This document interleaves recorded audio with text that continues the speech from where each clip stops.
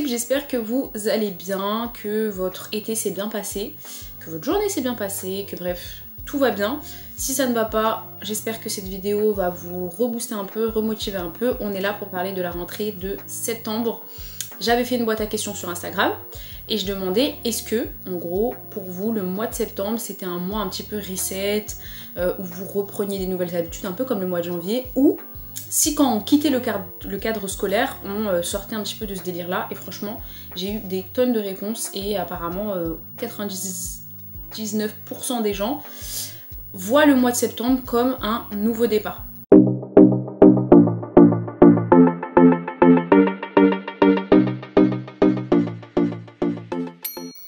Donc, moi, je le vois aussi comme ça en général. En tout cas, c'est un moment où je réadapte un petit peu mes objectifs, euh, ma planification, mes envies, etc. Notamment pour le trimestre, en tout cas, à venir jusqu'au mois de décembre. Je vais vous donner mes petits conseils, on en discute ensemble. Et voilà. En vrai, c'est pas trop un truc concret, on n'est pas ici pour faire du développement personnel, c'est vraiment pour qu'on se motive ensemble, qu'on se booste, qu'on se dise ok, pas forcément par rapport au mois de septembre, mais si c'est un tremplin et que c'est une excuse pour le faire, alors on le fait. Mais qu'on se dise, ok, l'année elle n'est pas finie, j'en suis peut-être pas satisfaite à 100%. Donc qu'est-ce que je peux faire pour euh, voilà, aller vers le mieux, pour se bouger? En général, les gens, en été, ils sont très très très en mode pilote auto et même parfois dans le reste de l'année, ils sont en pilote automatique. Ils se laissent vivre, donc peut-être que c'est votre cas, euh, c'est mon cas aussi parfois, on se laisse vivre et on sait même pas qu'on est en pilote auto. Donc je pense que là, la vidéo, c'est vraiment pour que vous vous posiez genre juste deux secondes et que vous vous vraiment vous vous dites ok est-ce que je suis en pilote auto ou pas? Le pilote auto pour moi c'est vraiment cette route qu'on est en train de suivre sans se demander pourquoi comment où est-ce qu'on va qu'est-ce qu'on a envie d'intégrer dans le quotidien. Enfin bref c'est vraiment des longues périodes où on se demande pas où on en est en fait. Donc là, moi, ce que je veux, c'est qu'on stoppe la voiture, on stoppe le pilote auto et on se dit, ok, mes semaines ressemblent à ça. Moi, qu'est-ce que je veux? C'est quoi mon, on va dire mon, mon mois idéal, mon mois 2.0, mon mois cible et du coup mon planning un petit peu cible. Et en plus, nous, en tant que musulmans, spirituellement, on a aussi l'objectif du ramadan. Donc le ramadan, si Dieu le veut, le mois du ramadan est dans 6 mois. Et je trouve aussi que ça vient planifier et que ça vient rebooster en se disant, ok, j'aimerais bien pérenniser telle habitude, telle habitude avant le mois du ramadan. Par exemple, je sais pas si on veut se mettre au sport, euh, commencer du sport le mois du ramadan, ça serait pas très optimal. Donc le commencer avant, ça serait cool. Comme ça, euh, au mois du ramadan, on adapte le rythme, l'intensité, etc. Et d'ailleurs, on va en parler de, des objectifs. Vous voyez là, par exemple, j'ai dit faire du sport. Ça, c'est un objectif, mais en fait, ça vient s'intégrer dans un système pour ceux qui ont lu euh, Atomic Habits. Habits? Habits, franchement, mon accent anglais nul. Dites-moi si, comment on prononce ce mot. Mais euh, voilà, on vient opposer les objectifs au système. Je vous explique après. Déjà, comme je vous le disais, on est en pilote auto, donc le premier conseil que j'ai à vous donner, c'est de réinitialiser votre esprit. Donc prenez un temps pour vous poser. On ne peut pas passer du pilote auto ou du euh, voilà, j'ai pas fait ce que je voulais à j'ai une optimisation de, de, ce que je fais, je vais planifier, etc. Non, je pense qu'il faut vraiment un entre-deux.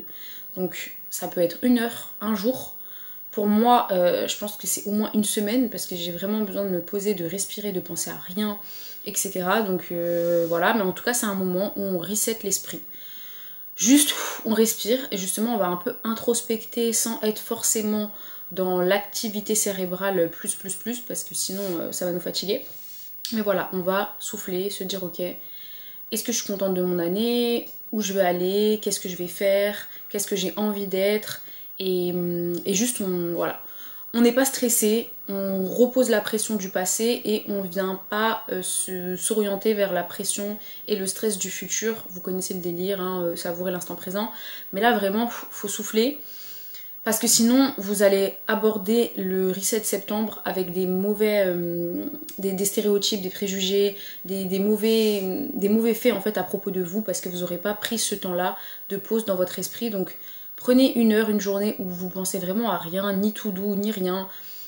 Je sais pas où vous habitez, mais voilà, vous prenez un jour où vous allez euh, faire des choses que vous aimez, vous allez respirer et vous allez vraiment vous dire ok, est-ce que euh, là je suis dans le chemin qui me convient? Parce que après, bien sûr, on va venir l'optimiser, mais déjà pour l'optimiser, il faut déjà être dans quelque chose, vous voyez. Comme par exemple, parfois on vient me voir, on me dit Ouais, Anya, je suis pas organisée, j'ai envie de m'organiser, euh, je suis trop désorganisée. Je leur dis Mais c'est quoi ta semaine? Enfin, qu'est-ce qui est désorganisé? Et c'est des gens qui vont juste au travail et qui rentrent chez eux. du coup, je leur dis Mais il n'y a rien à optimiser parce que déjà, il n'y a rien de base. Il n'y a que le travail et chez toi. Donc, déjà, il faut voir qu'est-ce que tu as envie d'intégrer dans ta vie c'est quoi ce, mieux, ce bien-être vers lequel tu veux aller pour pouvoir l'optimiser? Enfin bref, du coup, vous vous posez vous dites, ok, est-ce que le chemin dans lequel je suis déjà, il a du sens pour moi? Et là, on parle pas de le chemin scolaire, le chemin professionnel, juste qui je suis, mes valeurs, est-ce qu'elles sont alignées avec le vrai moi intérieur? Et euh, je sais pas si vous voyez ce que je veux dire, mais genre concrètement, des fois, je suis vraiment en pilote auto, je fais des trucs, des projets, où je vais voir des gens, et je fais ci, je fais ça, et parfois genre je me pose et je me dis ok, est-ce que cette semaine elle était vraiment alignée avec moi? Est-ce qu'elle a répondu à mes besoins? Est-ce que je me suis sentie bien? Est-ce que ce que je fais là par exemple comme tâche a un sens Pour moi, si oui, ça s'inscrit dans quoi et, euh, et voilà, en gros, vous reposez votre esprit, mais vous vous essayez quand même au final de vous poser quelques questions sur vous-même. Pour ça, il faut aussi se dire que normalement, quand on met en place des nouvelles routines, des nouveaux objectifs, des nouvelles habitudes, c'est censé nous faire du bien. C'est pas censé nous mettre la pression et c'est pas censé être quelque chose qu'on subit. Donc si vous êtes déjà vous dans un chemin où voilà vous avez essayé d'être une version meilleure de vous, vous essayez de faire des choses, où vous là vous avez envie de dire ok septembre c'est le moment où je vais commencer ça, ça, ça, etc. Et que vous n'avez pas l'impression que c'est quelque chose qui va vous faire du bien, honnêtement, c'est pas optimal pour moi, c'est pas le but. Le but, c'est pas qu'on subisse des nouvelles habitudes, des nouvelles routines. Bien sûr qu'il y a de la discipline. Je vous donne un exemple. Vous avez envie d'être quelqu'un de dynamique, en mouvement, euh, de pas subir entre guillemets euh, tout ce qui est activité sportive, etc. Mais dans votre vie en général, ça veut dire, euh, voilà, vous avez envie de pas être un ou une flemmard en gros. Pour moi, c'est ça vous allez vous dire, ok, pour ça, je vais essayer de dynamiser déjà mon corps avec des séances de sport, imaginons. Et vous allez faire un sport, et ce sport-là, vous vous dites, ok, je vais y aller euh, tant de fois par semaine, et ça va être tel sport. Et en fait, vous n'aimez pas le sport, vous n'aimez pas le rythme, ça vous saoule. Euh, à chaque fois, vous traînez des pieds pour y aller, ça vous fait pas du bien bah, peut-être qu'il va falloir revoir ce que vous avez prévu en fait. Peut-être c'est pas l'activité qu'il vous faut, peut-être que là vous faites euh, par exemple la course et qu'en fait c'est quelque chose d'autre qui vous convient mieux, peut-être que le rythme n'est pas adapté, l'horaire n'est pas adapté, peut-être que c'était pas le moment de faire quelque chose qui s'apparentait à une activité vraiment sportive dans le sens strict du terme et que ce que vous aviez besoin c'était plus d'être en mouvement, par exemple de faire plein de choses, etc. Enfin bref, il y a plein d'objectifs qui permettent d'arriver à un grand système idéal de ce que vous avez envie d'être. Et je pense qu'il faut vraiment choisir des choses qui vous font du bien et pas qui vous mettent, euh, dans un mal-être en fait. Donc euh, voilà. C'est pour ça qu'on reset l'esprit pour respirer et se dire ok là ce que j'ai envie de faire c'est pas censé me faire mal, c'est censé être quelque chose qui normalement m'apporte du bien-être parce que sinon ça n'a aucun intérêt. On se met pas des nouveaux objectifs et on s'intègre pas dans des nouvelles routines pour être euh, mal. Ça c'est logique, ça n'a pas de sens. Donc euh, voilà. Comme on est au mois de septembre et que ça fait déjà 8 mois que l'année a commencé, qu'en général voilà on prend quand même des nouvelles résolutions en janvier. Comme je vous disais pour euh, les musulmans on prend des résolutions aussi au mois de ramadan. Donc je pense qu'il faut quand même se poser et peut-être se demander ok des fois, ça a l'air très bullshit comme ça, mais en vrai, c'est des réelles questions à se poser parce que la vie, elle va trop vite et on est tout le temps en pilote auto et on s'arrête jamais et on se lève le matin, on va au travail, on rentre, etc. Enfin bref, on oublie de se poser vraiment et se dire déjà qu'est-ce qui a marché en 2022, là, depuis 8 mois, en gros, de quoi je suis fière, qu'est-ce que j'ai intégré qui était une bonne idée, mais que voilà, je veux faire perdurer, qu'est-ce qui a pas marché, que j'aurais voulu et là, c'est pour ça que c'est super important parfois d'écrire, d'avoir des notes de ces objectifs. Parce que justement, on va y revenir et se dire Ah ouais, purée, mais c'est vrai, il y a 5 mois, de base, je voulais faire ça, j'ai complètement zappé ou j'ai pas du tout été au bout de ça. Comment j'aurais pu le faire différemment? Et, et vraiment, voilà, se poser et se dire Qu'est-ce que j'ai fait là de mon année?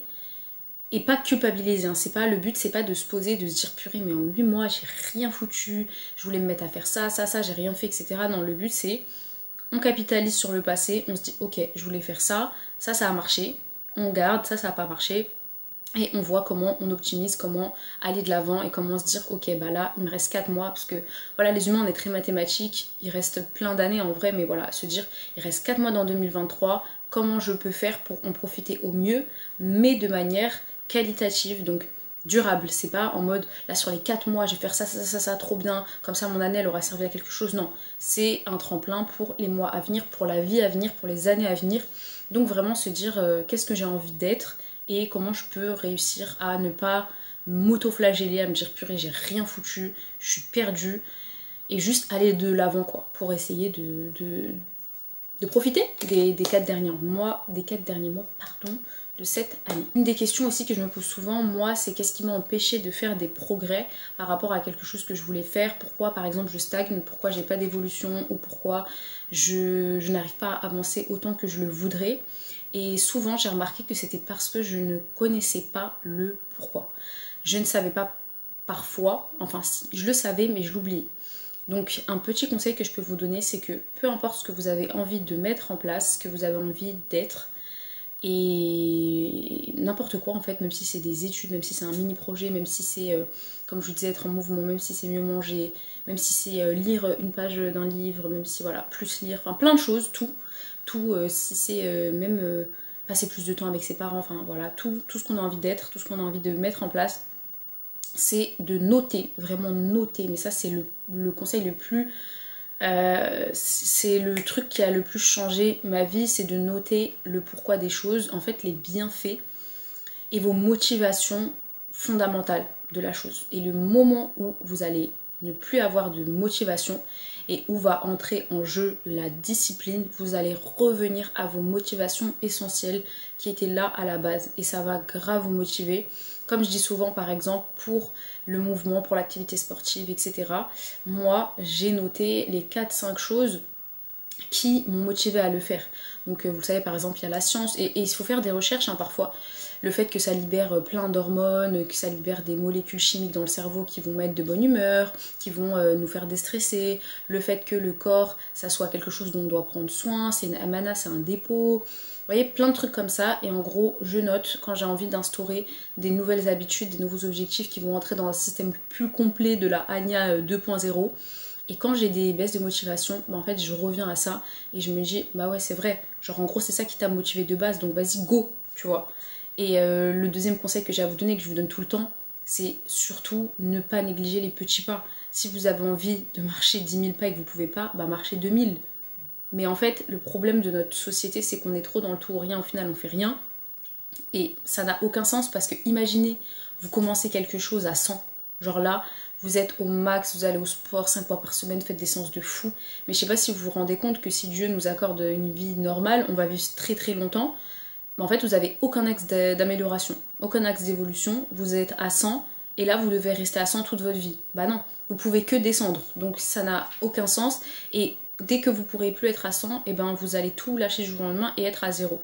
Donc ce qu'il faut vous dire c'est que la vie elle est très longue, franchement, donc commencez petit, au moins vous aurez une marge d'évolution très importante et vous pourrez y aller tranquillement, avec constance, régularité, sans vous mettre trop de pression. Les jours où vous n'avez pas envie de faire quelque chose, pensez-y vraiment.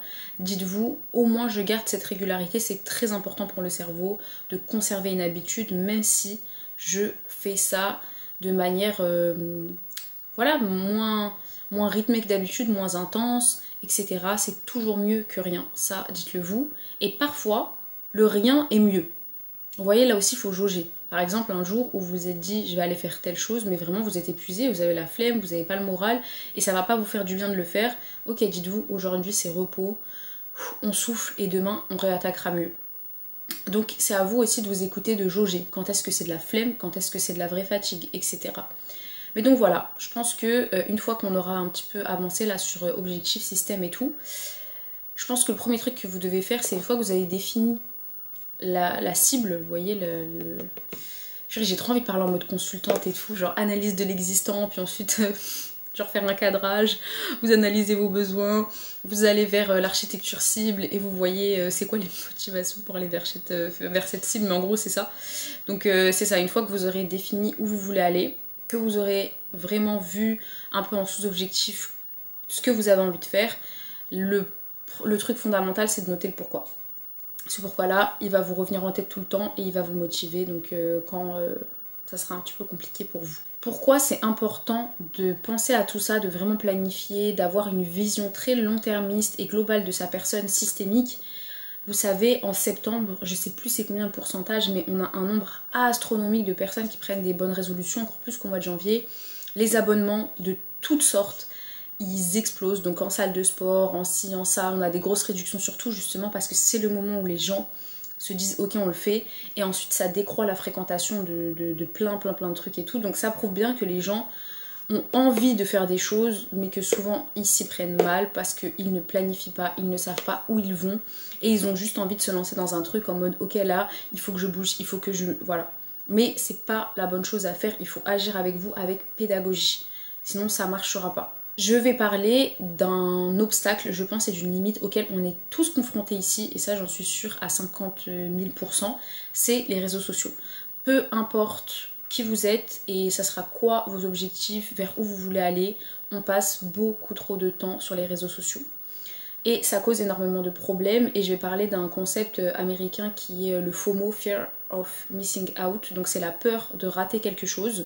De base c'était un concept qui parlait justement d'avoir la peur de rater une sortie, de rater quelque chose qui se passait dehors. Donc par exemple vos potes ils ont prévu euh, un resto, une activité et tout et vous euh, bah, à la dernière minute on vous dit ouais tu viens et vous deviez, je sais pas, garder vos neveux par exemple. Et là, vous vous dites, euh, bah non, je peux pas, mais vous avez trop le seum, pas qu'ils vont passer, pas, que vous vous dites, ah, j'aurais passé un bon moment, c'est vraiment, j'ai peur de rater quelque chose.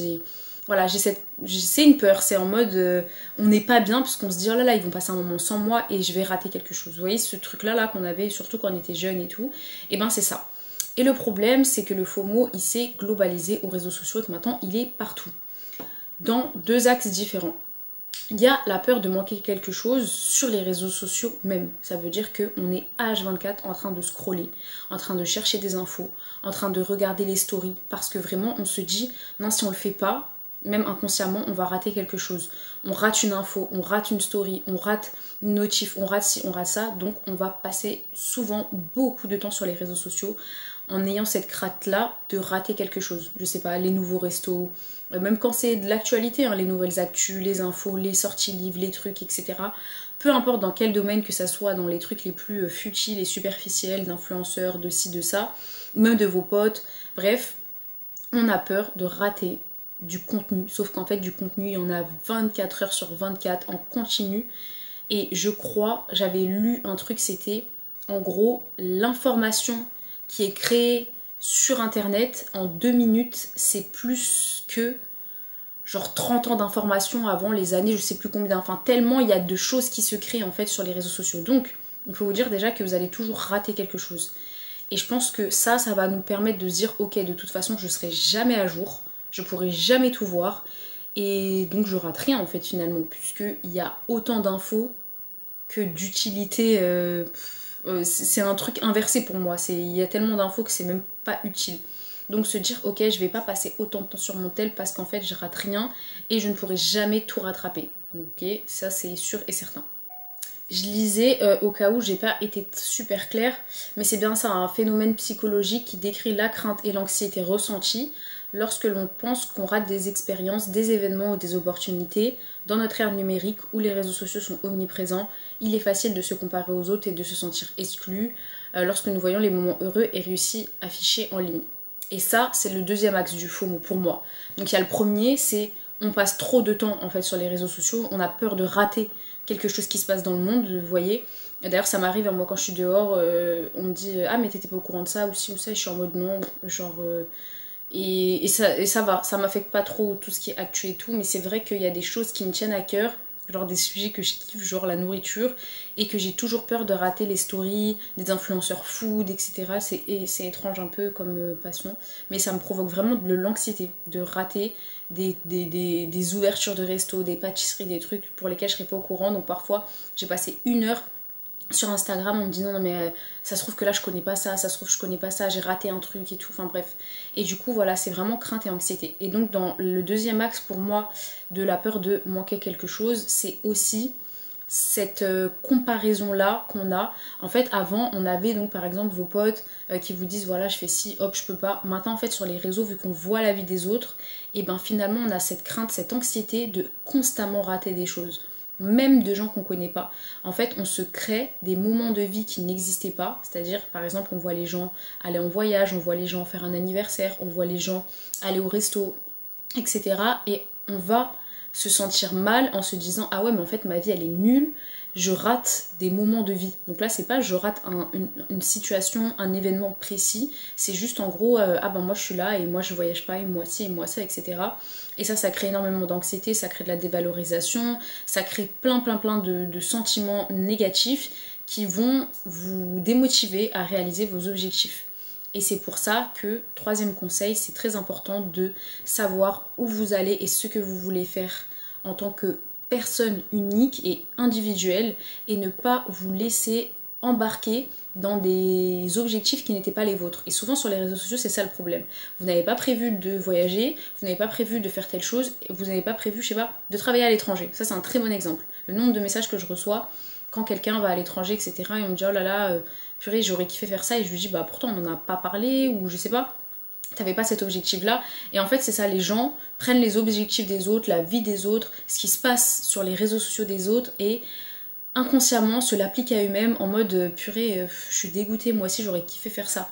Alors que parfois non, parfois t'étais dans ton chemin de vie que toi-même t'avais t'avais planifié et tout va bien. Bien sûr, parfois ça remet les pieds sur terre, ça fait sortir du pilote auto et on se dit comme euh, a, vraiment a raison, hein, parce qu'on le dit souvent, ah mais si elle est capable de faire ça, moi aussi je suis capable. Là c'est différent, c'est qu'on voulait intérieurement faire quelque chose et qu'on prend confiance parce qu'on voit la personne qui le fait.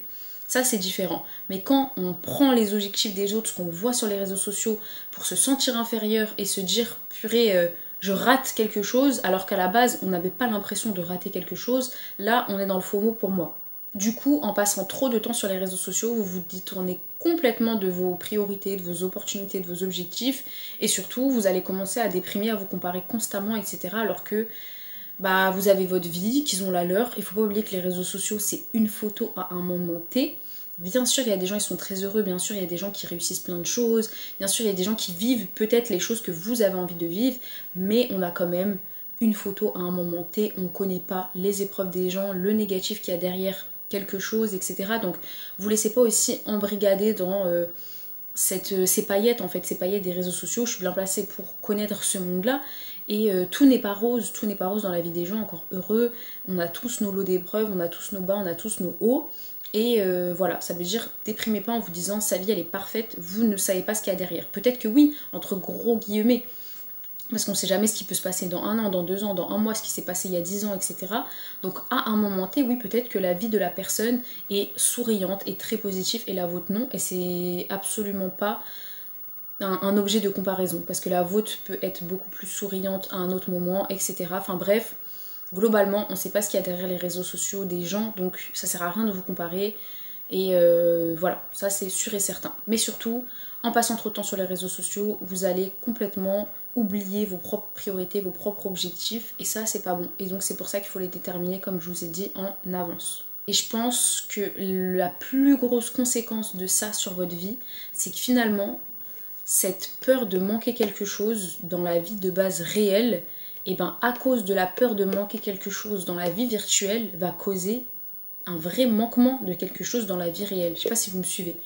Ça impacte réellement votre réalité cette vie sur les réseaux sociaux. Vous avez tellement peur, vous êtes tellement angoissé. Quand je dis vous, je parle aussi de moi, ne hein, vous inquiétez pas. C'est plus facile d'utiliser vous. On a tellement peur et on est tellement angoissé par les réseaux sociaux, par la vie des gens, par les actus, par le contenu, par le fait aussi que ça soit très facile de scroller et tout, que finalement on passe à côté de notre vraie vie. Et même quand la vie, cette vie réelle, bah vous voyez très bien, hein, on est toujours là en train de, mettre des stories, on est toujours là en train de, plein de choses. Et même quand on n'est pas dans le contenu strict, vous voyez, on sort même des réseaux sociaux, il y a toujours, toujours, toujours des choses dans notre tête, dans notre inconscient qui sont venues des réseaux sociaux et qui ont fait baisser notre estime de nous, qui nous ont fait, voilà, qui nous causent de l'angoisse, qui nous causent plein, plein, plein de trucs. Donc, euh, voilà, vous laissez pas... Euh, Et je sais que ça m'arrive aussi, hein, je vais voir quelqu'un là d'un coup qui fait un tour du monde ou qui part je sais pas où à vélo ou qui fait un truc et je me dis, waouh, purée, la chance, moi aussi j'aimerais trop faire ça. Alors qu'il y a deux secondes, j'avais pas du tout envie de faire ça. J'ai mes objectifs, j'ai mes projets, j'ai mes trucs. Ok, des fois ça peut être un déclic, comme je vous le disais, mais la plupart du temps, voilà. Faut pas vous laisser. Euh, voilà, si ça peut vous permettre de sortir votre pilote auto, mais pas pour se comparer et pas pour faire comme les autres parce qu'ils le font, plutôt pour vous dire, ah, cette personne-là, elle a l'air de pas passer à côté de sa vie. Moi, qu'est-ce que je peux faire pour ne pas passer à côté de la mienne? Là, on est dans une démarche constructive et je suis d'accord pour que vous l'ayez. Du coup, il faut vraiment qu'on passe de cette peur de manquer quelque chose à l'acceptation de manquer quelque chose. Et là, je me faisais trop cette réflexion ce mois-ci. Il faut vraiment que je me détache de mon téléphone. Il faut que je me détache du contenu, il faut que je me détache des infos, il faut que je me détache de Twitter. Je peux scroller, mais pendant une heure, deux heures, à la recherche d'infos. Moi, c'est vraiment ça, c'est la recherche d'infos, la recherche de, de, nouvelles choses à apprendre, de trucs. J'ai toujours peur de manquer euh, une découverte scientifique, un truc et tout. Et je suis en mode, hé hey, là vraiment j'ai envie d'accepter que je ne pourrai jamais tout découvrir, je pourrai jamais être à jour, surtout c'est impossible. Et il faut qu'on accepte ça pour se vraiment, vraiment, vraiment se décorréler de ce qui se passe sur la toile, comme dirait les boomers, pour, euh, pour ne pas passer autant de temps dessus. Voilà, c'est euh, pour moi c'est le, premier handicap, on revient à ce que je disais au début. Si on arrive à passer moins de temps sur les réseaux sociaux, honnêtement, on aura beaucoup moins de mal à réaliser nos objectifs et on sera beaucoup mieux dans notre peau, ça c'est sûr et certain. Euh, c'est ma copine Imen Benamadi qui est psychologue qui avait fait son mémoire sur euh, tout ce qui est dépression, etc. en lien avec les réseaux sociaux et honnêtement il y a énormément de corrélations donc faites attention à vous, à votre santé mentale mais surtout en termes de temps c'est un truc de fou en fait. Donc bref, on passe de euh, The Fear of Missing Out à The Acceptance of Missing Out et euh, je pense qu'on s'en portera bien mieux. Maintenant, on a dit qu'il fallait réinitialiser notre esprit, on a parlé du premier handicap euh, majeur de notre génération. Ce qu'il faut, c'est réinitialiser nos objectifs. Et quand je dis objectifs, on va remettre en question. Je vous conseille de lire le livre Atomic Habits de James Ware, je crois parce qu'il explique euh, très bien, parce que bah, en fait c'est lui un petit peu qui a, euh, je pense, globalisé cette idée-là de objectif vs système. En fait, pour faire très très court, on a toujours eu cette pensée qu'il fallait se fixer des objectifs, même en entreprise, objectifs smart, précis, réalisables, etc. Le problème, c'est que les objectifs ne nous mènent pas à des changements durables. Ça nous mène à avoir un résultat à un moment T. Donc euh, par exemple, vous êtes un entraîneur de sport et vous vous dites j'ai envie de gagner ce match-là. Donc vous allez tout faire pour gagner ce match, entre gros guillemets. Peut-être vous allez le gagner, peut-être que non. Euh, finalement d'ailleurs, parce que euh, les perdants et les gagnants ont tous les mêmes objectifs. Il aurait été mieux, c'est ce que nous explique l'auteur, de changer le système. Plutôt se dire moi j'ai envie que mon équipe elle soit bien, j'ai envie qu'à chaque entraînement elle donne le meilleur. J'ai envie de ci, j'ai envie de ça. Et là, les conséquences normalement logique, c'est que les matchs vont être mieux, c'est qu'on va gagner, c'est que si, c'est que ça, etc. Et qu'on va aller en tout cas vers de l'évolution continue et naturellement euh, voilà, optimale. Pareil, si vous êtes souvent désorganisé, bordélique, que vous avez l'impression que votre chambre, votre maison, souvent, elle est pas rangée. Vous vous dites, et ça, ça nous arrive à beaucoup, ok, là, mon objectif du jour, c'est de ranger cette chambre, c'est de ranger ce linge, c'est de faire ci, c'est de faire ça et vous êtes euh, parfois dépassé, vous allez le faire et vous vous dites oh trop bien, c'est bon. Objectif atteint, c'était ma to do cool. Mais le problème c'est que une fois l'objectif atteint, et eh ben les mêmes mécanismes vont se reproduire et vous allez vite être redépassé. Là, je parle pas des tâches ménagères, euh, on va dire classiques, hein. je parle de quand vous êtes dépassé. Voilà, il y a un truc, ça, ça redevient toujours comme avant, c'est toujours pas rangé, c'est toujours c'est toujours ça. En fait, le problème, c'est que vous n'avez pas changé le système derrière ça. Vous auriez mieux fait de, en gros, vous dire, ok, quel changement je peux faire, que ce soit en termes de personnalité, en termes de process. Qu'est-ce qui peut m'aider à faire que ce, ce résultat ne se produise pas pour que je n'ai pas à réavoir cet objectif très euh, gros à un moment T de non là il faut que je range tout, faut que je fasse un tri de ouf une fois tous les deux mois en mode dépasser de la vie. Voilà, c'est que les objectifs sont une conséquence à un, enfin, vont donner lieu à une conséquence à un moment T, alors qu'un système c'est quelque chose que vous allez vraiment réfléchir, penser et qui ne peut pas être parfait d'ailleurs euh, sur le long terme. C'est quelque chose que vous allez réévaluer, pour lequel vous allez vous entraîner et qui va donner des changements, on va dire, en continu, durable, mais euh, au moins ça va être pertinent. Donc peut-être que les premiers mois, eh ben, ça va être toujours dérangé, mais peut-être moins. Peut-être que vous allez apprendre de vos erreurs, peut-être que vous allez vous dire ok ça ça fonctionne pas. Mais au bout d'un moment, eh ben, vous aurez changé le système là et l'objectif de là faut que je range le tas de linge que j'ai pas rangé depuis un mois, eh ben il n'existera plus parce que ça sera juste des objectifs, des sous-objectifs qui font partie d'un système qui est déjà bien. Je sais pas si je suis claire. C'est Bill Walsh, trois fois vainqueur du Super Bowl, qui disait le score prend soin de lui-même. Et en fait, c'est exactement l'illustration parfaite de ce qu'on vient de dire. C'est que si vous preniez soin de votre système, les objectifs suivront sans aucun doute. Je trouve que c'est un très bon exemple, d'ailleurs l'exemple du sport d'une équipe. Si un entraîneur prend soin de bien recruter ses joueurs, d'avoir une cohésion d'équipe, de prendre soin d'eux, de bien les entraîner, et voilà, dans, un, bah, dans une approche systémique, tout le reste suivra en fait. Et euh, d'ailleurs le reste suivra et ça appartient à Dieu. Vous, vous avez fait le mieux que vous pouvez. Donc même à notre échelle, on peut tellement en fait se détacher un peu de ce stress-là parce qu'on se dit ok moi ce que je fais c'est d'essayer de mettre en place un système qui fonctionne et qui va être continu, c'est un cycle. Vous voyez, c'est en gros euh, un objectif, c'est quand avec euh, votre petite fléchette vous tapez là, une fois que vous avez tapé, bah en fait euh, c'est fini, on va jeter ça à la poubelle et on va reprendre un autre. Et en fait un système, j'ai un mail, je regarde après. Un système c'est quelque chose voilà qui est cyclique et dans lequel on va un peu tomber, on va se relever, on va voilà, et on va réessayer, etc. Et c'est pour ça d'ailleurs que moi mon objectif, si on prend le cas du sport, ça a jamais été de me dire je veux faire du sport trois fois par semaine, par exemple. Ça, c'était un sous-objectif pour lequel je me suis engagée pour un système plus global qui était j'ai envie de prendre soin de moi. Je veux être une personne qui est en mouvement, j'ai pas envie d'être euh, de subir en fait le poids de mon corps, de subir chaque mouvement que je fais. Voilà, j'ai envie de prendre soin de moi.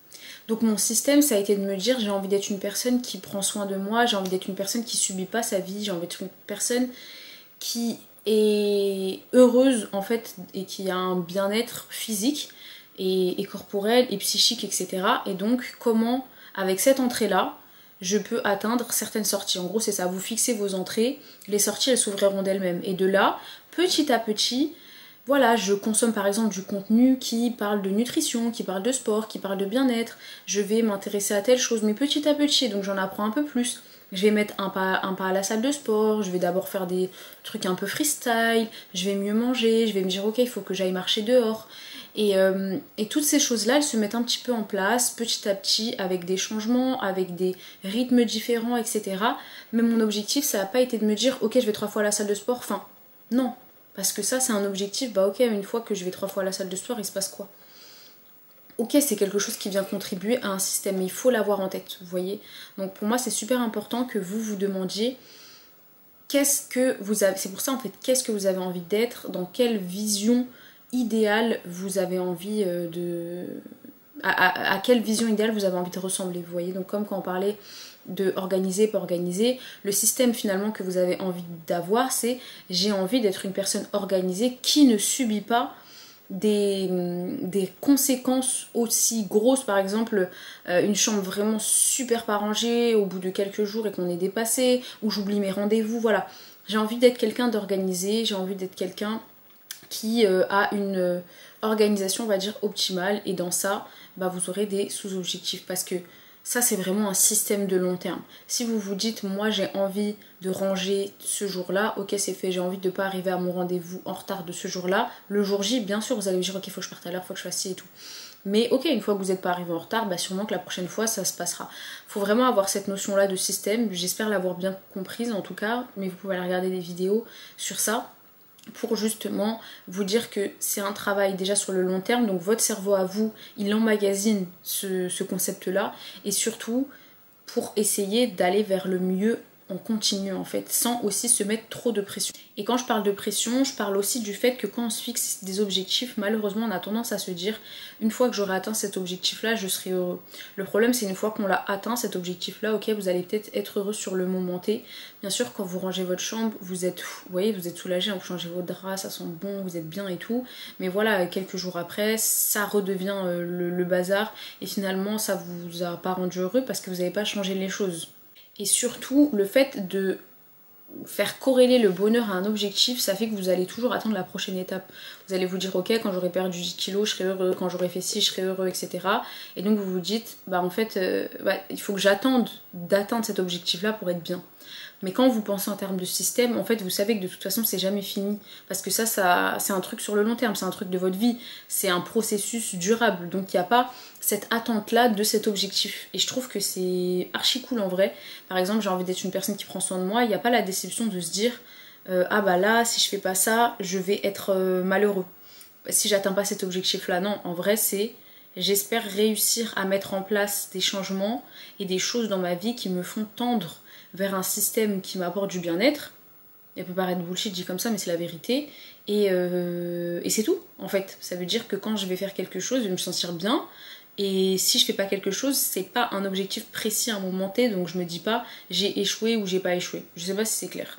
Et vous concentrer sur des objectifs très euh, précis sans avoir en tête un système plus global, souvent ça fait un effet un peu yo-yo. C'est comme les coureurs qui se disent ok là j'ai envie de courir, euh, je sais pas, je connais pas les paliers, 40 euh, km, je vais m'entraîner à fond pour le faire, ils vont faire de la course tout le temps, tout le temps, tout le temps, et ils vont réussir à faire les 50 km et le lendemain ils arrêtent complètement de courir parce qu'ils sont contents. Bon j'hyperbole sûrement, mais vous avez compris l'idée.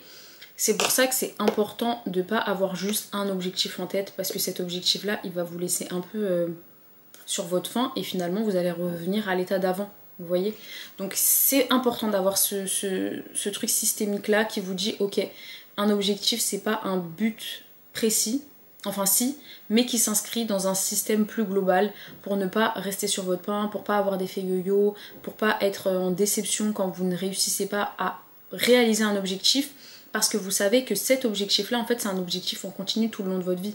Donc moi, par exemple, quand j'arrive pas à aller au sport un jour à la salle, euh, qui est un de mes objectifs dans un système plus global, on va dire, et qui pourrait être complètement changé, hein, au lieu de la salle, ça pourrait être autre chose. C'est juste que j'aime bien trouver, euh, j'ai trouvé, euh, voilà, une activité sportive que j'aimais bien, entre autres, parce qu'il y en a des autres quand j'y arrive pas à y aller, je me dis pas ah j'ai raté mon objectif du jour ou de la semaine et tout.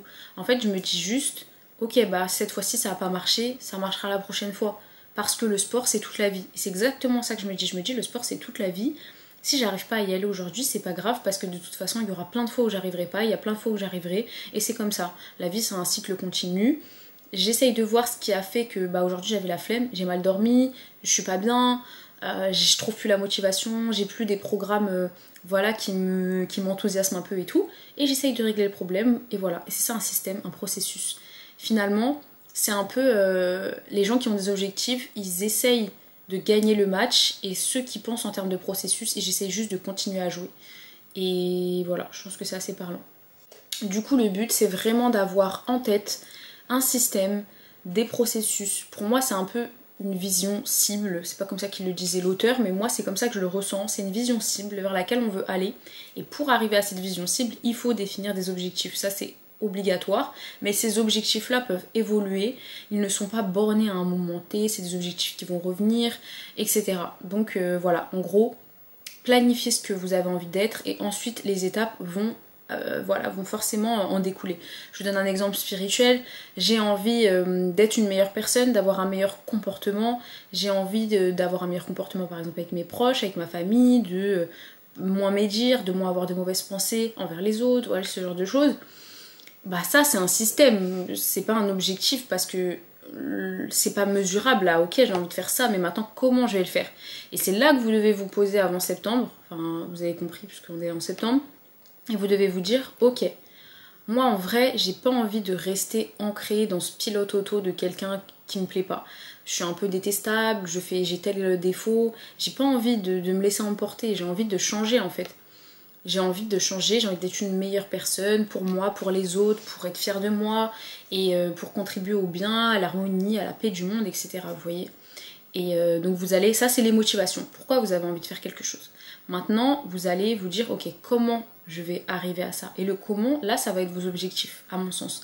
Ces objectifs-là, ça va être par exemple, moi, ce qui me parle, et là, c'est toujours en fonction de vous. Moi, ce qui me parle, c'est la connaissance. Donc, j'ai envie d'apprendre comment euh, on devrait réagir dans telle situation, la diversité des psycho de la psychologie des personnalités, l'intelligence émotionnelle. J'ai envie, voilà, qu'on me parle j'ai envie de lire, j'ai envie de regarder des vidéos, j'ai envie de côtoyer, ça c'est un autre, un, autre type euh, d'apprentissage, j'ai envie de côtoyer des gens qui de par leur comportement vont m'aider à atteindre ça, j'ai envie d'apprendre par l'exemple, etc., etc.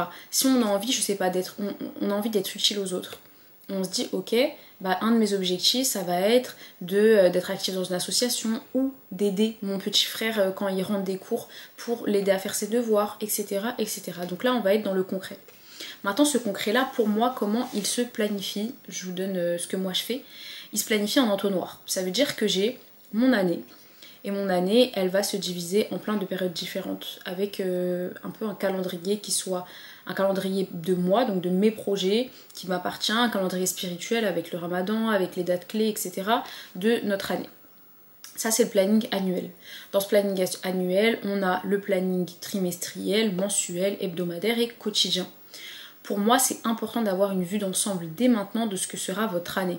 Vos examens, vos vacances, euh, les, dates charnières dans, vos, euh, dans votre job, n'importe quoi, des moments clés en fait de votre année et euh, également, comme je disais, sur le plan spirituel, le ramadan par exemple dans 6 mois, etc. Quand vous faites cette organisation-là, c'est cool, vous avez une vue d'ensemble et vous voyez exactement où vous allez finalement. Ensuite, quand vous avez fait ça, vous essayez de planifier un peu le trimestre pour voir exactement un peu plus dans le détail ce qui va se passer. Là en décembre, en octobre, en novembre, voilà, où vous allez, etc. Ensuite, dans le mois, là, on est vraiment plus dans le détail. Qu'est-ce que ce mois-ci je vais faire? Et vous avez donc votre, votre planning avec les dates, on va dire, euh, qui ont un sens pour vous. Je sais pas, j'ai tel rendez-vous, là on parle en termes concrets, hein. là ce jour-là il y a tel rendez-vous qu'il faut pas que j'oublie, là j'ai ça, ça faut que je le prépare en avance, etc. etc.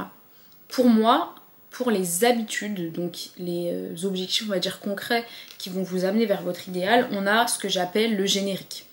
Par exemple, j'ai envie de faire du sport trois fois par semaine. J'ai envie de réviser mes cours deux fois par semaine. J'ai envie de lire au moins une fois par semaine j'ai envie d'avoir des habitudes spirituelles sur tel, tel, tel euh, pan. Là, c'est inhérent à votre personnalité, donc il y a plein de types d'adorations différentes, une fois toutes les deux semaines, etc. Une fois qu'on a ce générique-là, on va pouvoir prendre les habitudes qu'on a envie de mettre dans notre semaine en fonction de notre emploi du temps. En prenant donc une semaine, moi par exemple, je sais à peu près quel jour je peux aller au sport et quel jour je ne peux pas, quel jour je peux faire du sport chez moi, quel jour je ne peux pas, etc. Et je me dis, ok, donc moi je m'étais dit, je fais trois fois euh, la salle par semaine, donc euh, ok, ça c'est le générique, c'est ce que j'ai en tête dans mon organisation. Là, pour cette semaine-là, en vue de mes cours, je suis comme si j'étais à l'école, en vue de mes cours et tout, ça va être plutôt ce lundi soir, ce jeudi soir et ce dimanche. Par contre, la semaine d'après, j'ai un rendez-vous le mercredi, donc je vais plutôt le mettre là, etc. Ça, moi je fais tout sur euh, Google Calendar. Personnellement, j'ai une vue express de tout ce que j'ai à faire. Quand quelqu'un me dit t'es dispo tel jour, je regarde. Si c'est le moment où j'avais prévu de faire quelque chose que j'avais envie de faire comme là, par exemple j'ai prévu d'aller à la salle, etc. Et que pour moi c'est important, au moins je sais directement que non, à ce moment-là je suis pas dispo. Comme ça c'est clair. Après si bien sûr la chose qu'on vous propose est plus intéressante et que vous pouvez remodifier, flexibiliser votre emploi du temps et tout, c'est cool. Mais en tout cas, il faut quand même euh, avoir cette vue-là pour pouvoir être discipliné, pour pas, bah, pour pas tomber des nues en fait. Parce que souvent, on est le dimanche et quand on n'a rien planifié, on se dit purée, genre j'ai rien fait de ma semaine. La semaine elle est passée devant moi et, non, et en fait c'est normal. Si vous planifiez pas ce que vous avez envie de faire, ben vous allez pas le faire. Vous pouvez pas vous. En fait, il est 19h le mardi, et ça, ça m'est déjà arrivé avant que je commence à m'organiser et tout, et se dire Ah ouais, mais c'est vrai je voulais aller faire du sport euh, en sortant du travail, j'ai zappé. Et en fait, pour moi, c'est ça. J'ai mon Google Calendar, il m'envoie des rappels pour tout. Et ça me rappelle exactement ce que je devais faire. Enfin, perso, après, parce que moi, j'ai pas de. Je pense à un million de choses en même temps et je fais un million de choses. Donc, je peux pas me souvenir de tout. Mais en tout cas, j'ai besoin justement de cet entonnoir-là, annuel, trimestriel, mensuel et euh, hebdomadaire. Et ensuite, chaque jour, la veille, je vais me poser, regarder ma journée du lendemain et je vais me dire ok donc demain à 8h je fais ça, j'ai prévu ça, euh, ah c'est vrai je vais au sport, du coup qu'est-ce que j'ai prévu pour le sport? Euh, J'aurai le temps par exemple de regarder ce que je fais dans les transports demain ou je n'aurai pas le temps donc je regarde dès maintenant, etc. Comme ça on n'oublie rien. Et on se dit ah oui mince purée j'avais oublié que j'avais le rendez-vous demain de ça, de ci, etc.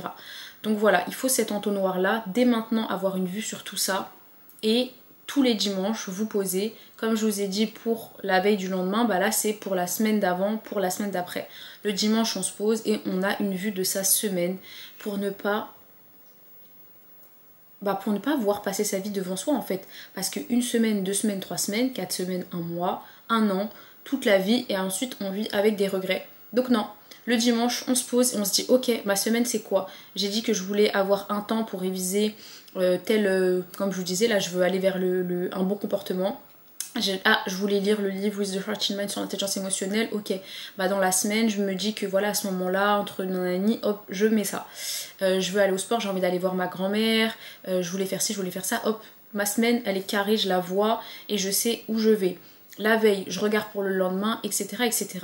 Maintenant, ce que je dis tout le temps, c'est que vous avez votre générique. Votre générique, il doit être réaliste. Vous vous dites pas, je vais faire 4 fois du sport dans la semaine alors qu'on n'a jamais fait de sport et qu'on n'a pas le temps en plus. Donc non, une, euh, une fois par semaine par exemple, vous vous dites j'ai envie de mettre mon corps en mouvement, j'irai faire quelque chose que j'aime. Je vais aller faire du pilates, je vais aller courir, je vais aller marcher. Si déjà de base je suis pas du tout une personne euh, qui marche, donc voilà, je vais, je j'ai pas envie d'être sédentaire. Ou par exemple, on peut se dire dès maintenant, moi je sais que je suis en télétravail tout le temps, je vais pas aller marcher. J'ai vu sur Insta qu'il y avait les walking pads. Ok, bah je pense que ça va m'aider. Euh, je vais aller me renseigner pour voir si c'est pas trop gadget. Je vais l'acheter comme ça au moins je ferai mes pas par jour pendant mon travail, etc. Il y a des solutions à tout, une corde à sauter, etc. Et je parle souvent du, contexte sportif, mouvement, parce que c'est le plus facile à comprendre, mais vous appliquez ça à toutes les sphères de vos nouvelles habitudes, comme, comme je vous disais, passer plus de temps avec ses proches. Donc là, pareil, on se dit, ok, quel contexte et qu'est-ce qui est euh, dans mes cordes, par exemple, je suis pas trop une personne du visuel, je j'aurai pas le temps d'aller voir la personne chez elle, et ben au moins je me dis je vais l'appeler, etc., etc. Donc, je sais plus, je disais quoi juste avant. Ah oui, voilà. Donc, vous avez votre engagement qui est réaliste, vous dites je vais faire une fois par semaine. Et ensuite, on a ce qu'on appelle pour moi la pratique instinctive. Ça veut dire que si dans la semaine, vous avez un besoin, un moment où vous pouvez faire plus, alors vous le faites. Cool, parce que ça va vous rendre heureux, ce moment-là, vous le vouliez. Mais si vous ne le faites pas, au moins vous aurez tenu votre engagement, votre régularité, et ce que vous aviez... Euh, eu envie d'organiser pour vous-même dans votre vie sur le long terme? Vous voyez, moi par exemple, je fais mes trois séances de sport euh, par semaine à la salle de sport, et puis parfois me vient l'envie d'aller courir. C'est pas quelque chose que j'ai planifié, là tout de suite j'ai l'envie, j'ai le temps, et ben je prends mes chaussures et, et je vais courir.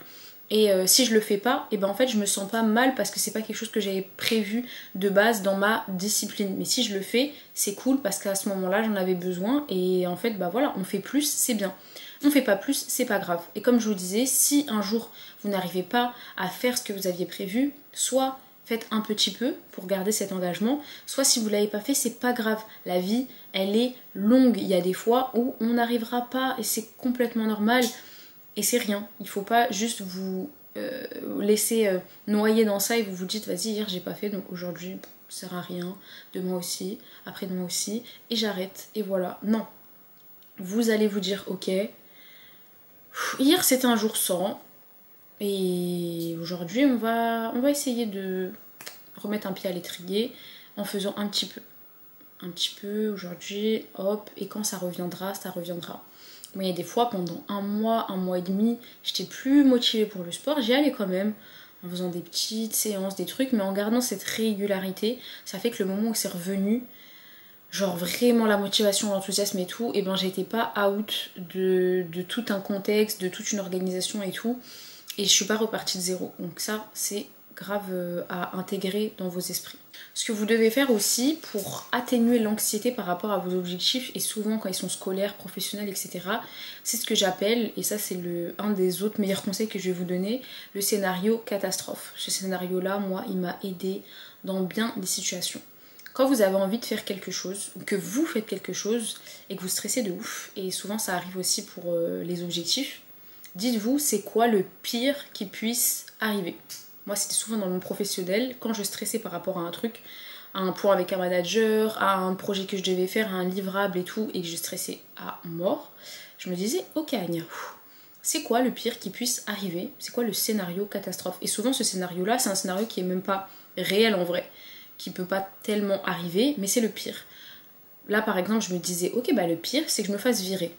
Et je me posais, je me disais, ah bah je m'en fous de me faire virer, genre il y a plein d'autres travail, au contraire, on me rendra service. Donc d'un coup, je me disais, ok, c'est pas grave, je fais ce que je peux, et puis le scénario catastrophe, en fait, il me stresse pas tant que ça. Du coup, tous les autres scénarios qui étaient avant le scénario catastrophe, bah, ils étaient pas aussi graves. Donc si je me fiche du scénario catastrophe, tout le reste n'a pas d'importance. Mon scénario catastrophe aussi souvent c'était mais je vais m'afficher. Par exemple là je vais à une réunion, je vais dire n'importe quoi, ils vont me trouver bizarre. C'est ça mon scénario catastrophe. Ok, bah ce scénario catastrophe là il implique quoi? Que des gens qu'un jour je vais plus revoir me trouvent bizarre, ok, c'est pas grave, donc no stress. Du coup, c'est pareil pour vos objectifs. Il faut vous dire, ok, là, si je parviens pas à atteindre ce truc-là, c'est quoi le pire qui puisse m'arriver? Et est-ce que je peux anticiper ce risque-là? Est-ce qu'il y a un plan B? Et, euh, et, voilà, et on déstresse. Ok? Ensuite, c'est pour vos objectifs, là, vous allez, vous allez planifier ce que vous avez envie d'être, vous allez planifier ce que vous avez envie de faire et vous allez dès maintenant faire le tri dans tout ce qui est ressources, dans tout ce qui est matériel. Donc je sais pas, vous vous dites j'ai envie de courir une course de 5 km, cette course là c'est quand à ce moment-là? Comment je vais me préparer à cette course là Je vais aller courir une fois par semaine et augmenter l'intensité semaine après semaine, mais qu'est-ce que j'ai besoin pour courir? Des chaussures, une tenue. Dès maintenant, vous allez en fait déblayer le chemin, ce que j'appelle le tri, pour ne pas avoir à réfléchir à tout ça au moment T et pour être prêt en fait quand vous, aurez envie de passer à l'action. Et ça, c'est ce dont je parlais dans mon réel sur les habitudes par rapport à la fatigue décisionnelle. Il faut dès maintenant déblayer votre chemin, faire le ménage dans ce qui est entre vous et l'objectif final. C'est pareil pour tout ce qui est contenu, culture G, lecture, spirituel, etc.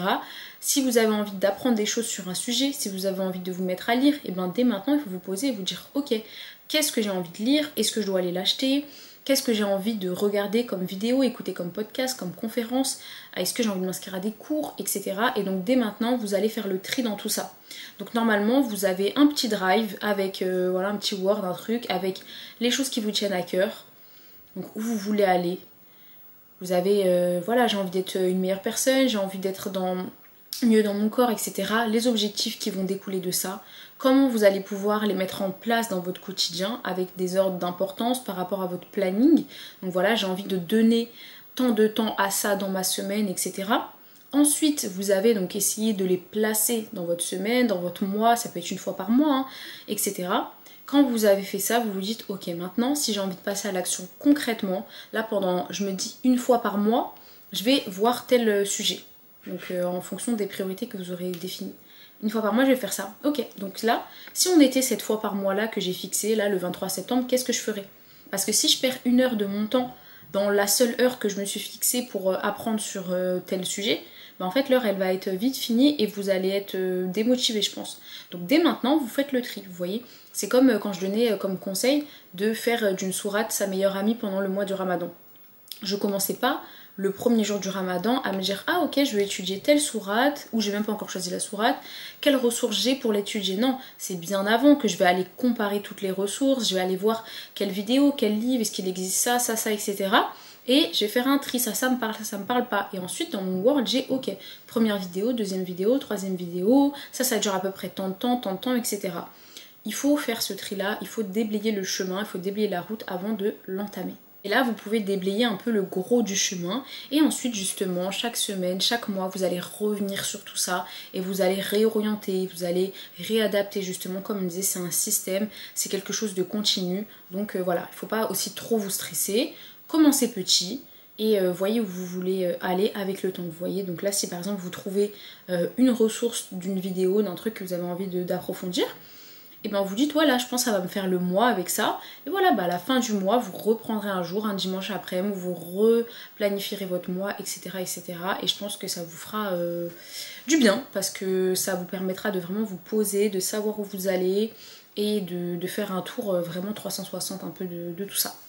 Aussi dans ce truc en plus de FOMO euh, la peur de manquer quelque chose et ben parfois on a peur de manquer quelque chose mais on le planifie pas. Donc euh, je sais pas comment on prenait l'exemple de quelqu'un qui a envie de courir une course euh, de je sais pas 10 km là à Paris, et ben il y a plein de fois où moi je m'étais dit ça, ah j'aimerais trop et tout courir pour me dépasser et puis voilà pour me motiver à plus courir et tout. Et en fait, d'un coup, je vais voir, je sais pas, la semaine dernière, il y a eu telle course dans Paris et tout, et je suis deg. Et en fait, justement, dans la planification, il y a le fait qu'au moment où je vais déplayer, je vais aller chercher, je vais aller regarder, ah ok, il y a quand, telle course, telle date, etc. Et c'est pareil pour tout.